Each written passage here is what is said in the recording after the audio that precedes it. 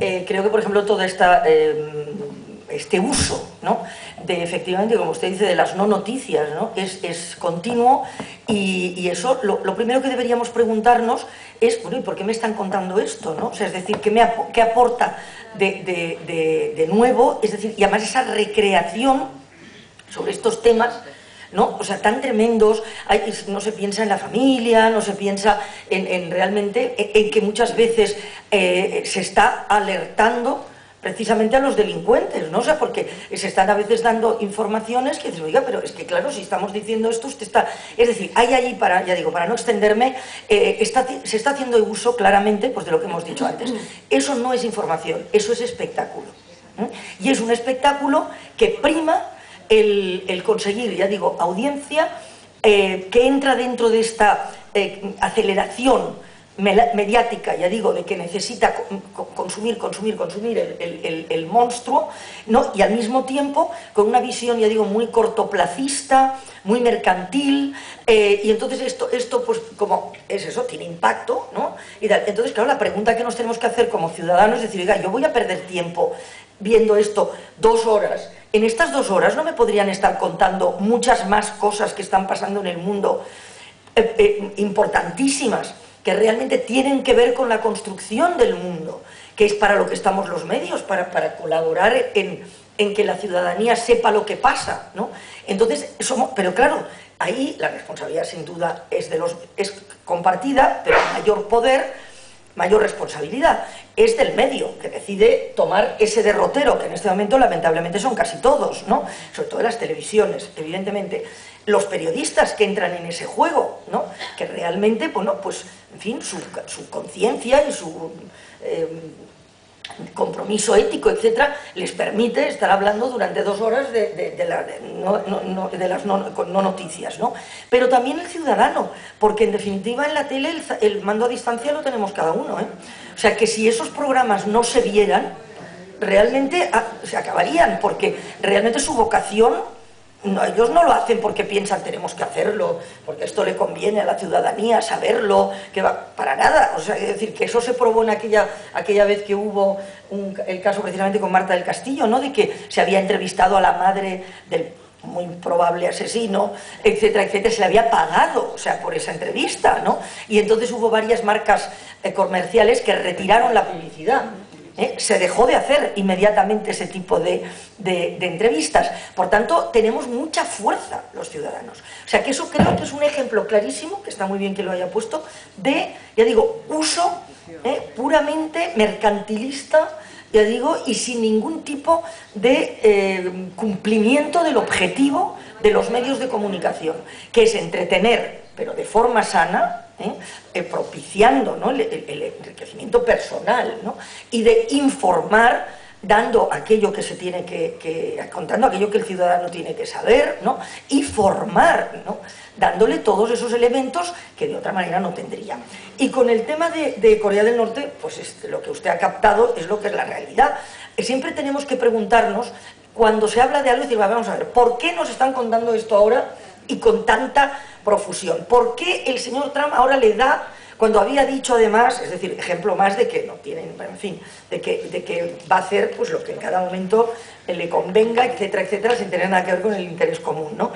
Eh, ¿Por qué ahora eh, manda esa, esas fragatas allí y tal? Bueno, pues porque ahora estamos hablando todos de Corea del Norte y ya no hablamos de todo lo que, lo que no está haciendo en Estados Unidos y de todo lo que está pasando en Estados Unidos. ¿no? Y Corea del Norte eh, realmente es peligroso, porque, hombre, jugar con material nuclear, ¿no? por mucho que no, tengas, no lo tengas nada desarrollado, porque eh, no es peligroso en cuanto a su eficacia, ¿no? porque el programa nuclear, no, yo he estado dos veces ¿no? ahí, evidentemente no he visto el, el, programa nuclear porque nunca me han llevado, pero, pero sí que se sabe que no tiene una, una eficiencia eh, en fin, que tenga que hacer temer que pueda llegar un misil, como ellos dicen, a, Los Ángeles o a Nueva York, a lo mejor a, Japón en algún lugar, pues podría, y desde luego a Corea del Sur probablemente sí, pero digamos que el problema de Corea del Norte es, está muy limitado, porque para resumirle, Corea del Norte es su, especialidad,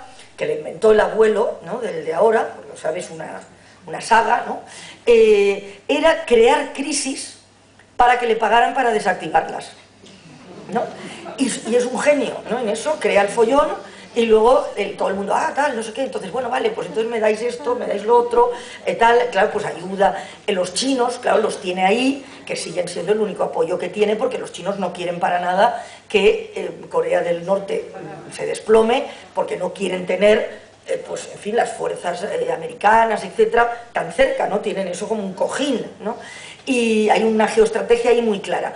Estados Unidos le conviene que esté Corea del Norte porque mientras haya el espantajo ese del miedo, tenemos a Corea del Sur con sus bases, a Japón cada vez más militarista, eh, con más pretextos ¿no? para, para poder, pues en fin, cambiar la constitución, eh, etcétera, etcétera. ¿no? Entonces, el, el hijo hacia lo mismo, Kim Jong-il y este hace lo mismo.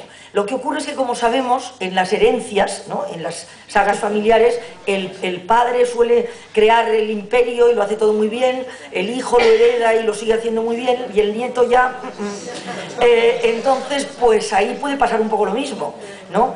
Y que, bueno, pero ya digo, a mí me preocupa mucho más Pakistán, que en Pakistán también hay, hay armamento nuclear.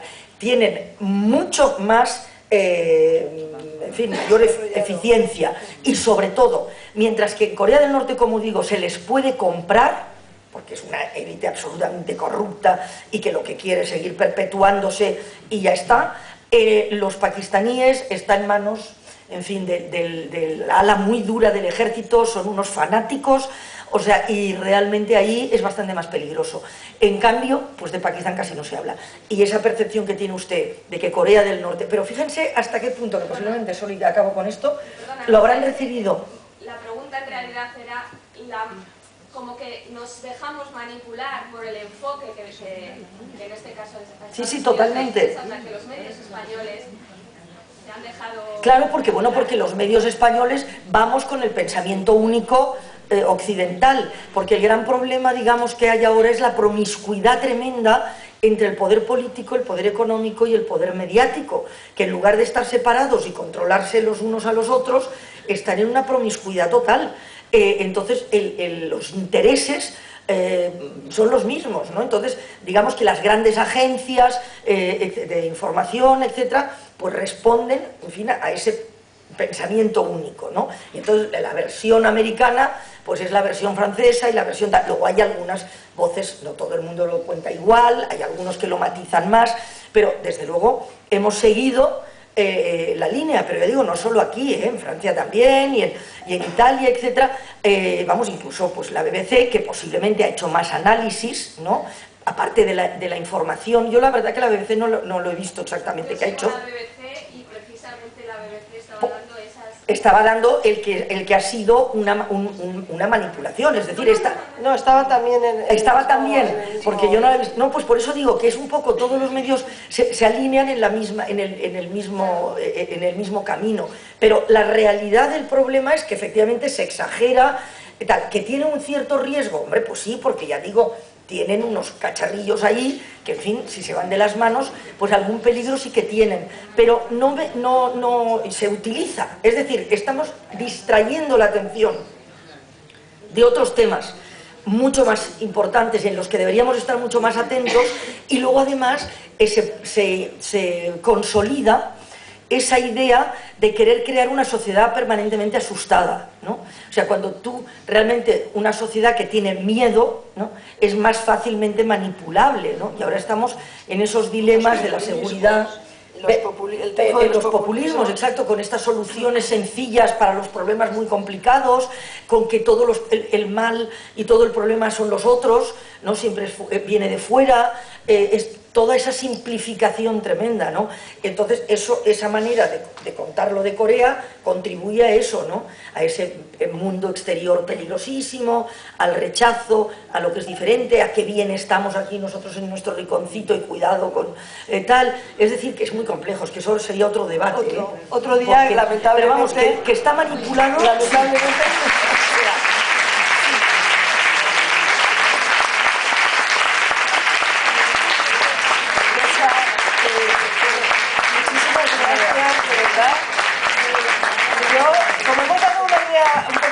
negativa del trabajo periodístico, sí que les quiero decir que además si queremos